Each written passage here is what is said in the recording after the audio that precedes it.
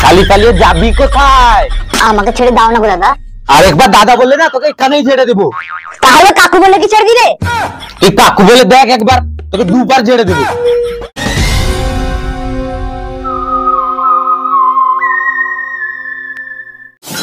তোমার গাড় দেখার আমার কোনো প্রকার ইচ্ছা নেই।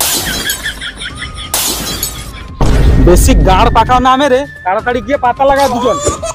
আমি আসছি স্যার। ঠিক আছে ঠিক আছে যাও তাড়াতাড়ি যাও। দয়া তাড়াতাড়ি পাতা লাগাও পাতা লাগাও।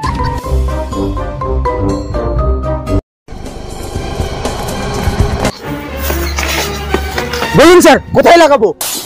আরে অভিজিৎ তুমি ডেলা ভেঙে নিয়ে এসছো কেন? স্যার তো বললেন পাতা লাগাতে তাই তো আমি ভেঙে নিয়ে এলাম। খুব ভালো করেছ এবার আমার গাড়ি গুঁজে দাও। শালা কোন কুত্তার বাচ্চা তোদেরকে সিআইডি তে ঢুকিয়েছে স্যার আপনি তো ঢুকিয়েছেন। তাহলে কুত্তার বাচ্চাটা কি হলো স্যার? আর গাড় জ্বালাও না তাড়াতাড়ি গিয়ে কিডন্যাপারকে খোঁজো। ঠিক আছে ঠিক আছে, স্যার আসছি। ঠিক আছে আসো তাড়াতাড়ি যাও। হ্যাঁ, আমি পেয়ে গেছি। আরে কি পেয়েছ অভিজিৎ? কি পেয়েছ? খাসি মাংসের গন্ধ স্যার। স্যার তাড়াতাড়ি খেতে চলুন। সালা পাগলা চিঠির দল। স্যার তাহলে আপনিও কি যাবেন নাকি? সালা ভেড়া চিঠি আচ্ছা তোমরা কি খেতে এসছো না কিডন্যাপারকে খুঁজতে এসছো হ্যাঁ? না স্যার মনে হয় কিডন্যাপারটা ওখানটায় আছে। তার জন্য তো মাংসের গন্ধ আসছে। এর মানে বুঝতে পারলে দয়া কি স্যার? কিডন্যাপাররা মাংস রান্না করছে।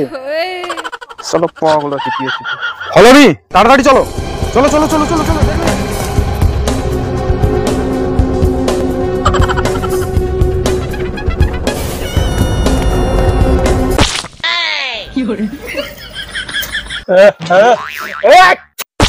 আরে আওয়াজ করো না অভিজিৎ।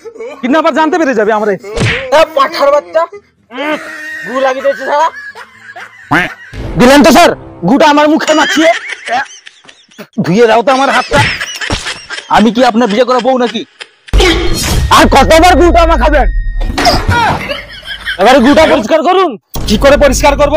জল আছে নাকি এখানে? চেটে পরিষ্কার করুন। স্যার এটাই তাহলে খাসির গন্ধ ছিল।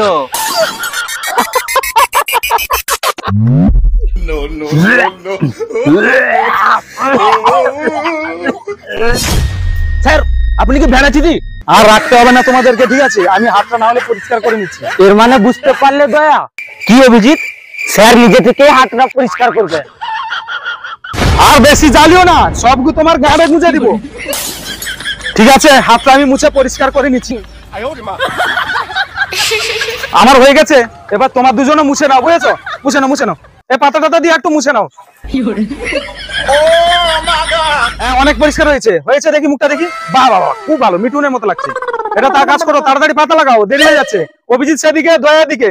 আর আমি মাঝখানে, দেখছি কোথায় আছে, খুঁজে পাতা লাগাও।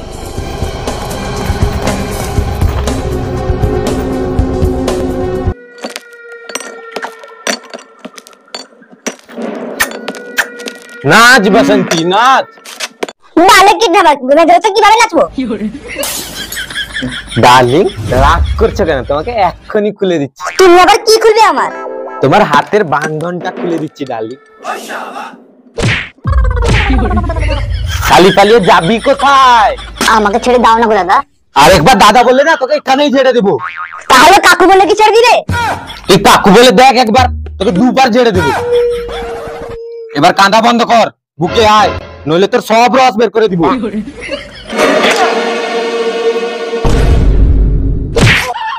এটাই তো আমি চেয়েছিলাম।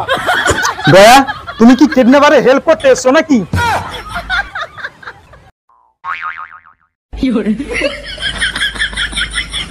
যেখানে মেয়ে দেখে সেখানেই আর বেরিয়ে যায়। কি বেরিয়ে যায় স্যার? আরে মামনি মুখের লালার কথা বলছি আমি। আরে আপনার তো অন্য কিছু বেরিয়ে যায়। স্যার কিডন্যাপারটাকে কি করব? এ গান মেরে দাও। কি করে? আরে নুনু মুখো একে তাড়াতাড়ি জেলে ঢোকাও। স্যার একে কি আমার বাড়ি নিয়ে যাব নাকি? কেন? তুমি কি বিয়ে করবে নাকি হ্যাঁ? স্যার আপনি তো আমাদের একটাও মেয়ে খুঁজে দিলেন না। আর কতদিন আই বুড়ো হয়ে থাকব স্যার? আমার হাতের কি অবস্থা হয়েছে দেখছেন স্যার?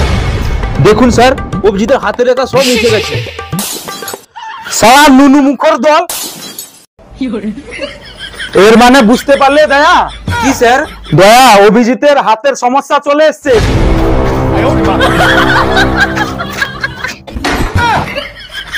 আর গাড় পেঁয়াজি না মেরে কিডন্যাপারে গাড়ে লাথি মেরে ওকে নিয়ে চলো। চল চল জেলের তোকে ভাত খাওয়াতে হবে। চল যাবি না তুই। তুই যাবি তো বাপ যাবে। চল। আমি একা যাব না আমার ডার্লিং কে সঙ্গে নিয়ে যাব আমি একা যাব না। চল শালা চল। তোকে জেলের ভাতও খাওয়াবো সঙ্গে খাসির মাংসও খাওয়াবো। চল। শুধু খাসির মাংস না সঙ্গে বাংলা মদও দিতে হবে।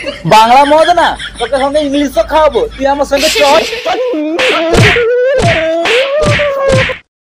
আরে অভিজিৎ আরে মেয়ের দাদা চুচুন্দর ও বেউড়াকে ফোন করে ডাকো। কেন স্যার? আরে নুনু মুখো তোমার সঙ্গে মেয়ের বিয়ের পাকা কথা বলতে হবে যে। সত্যি নাকি স্যার? সালামা মনি এ বুঝতে পারলে না অভিজিৎ। মেয়েকে ও দাদার হাতে তুলে দিতে হবে যে। ঠিক আছে স্যার। ফোন করছি।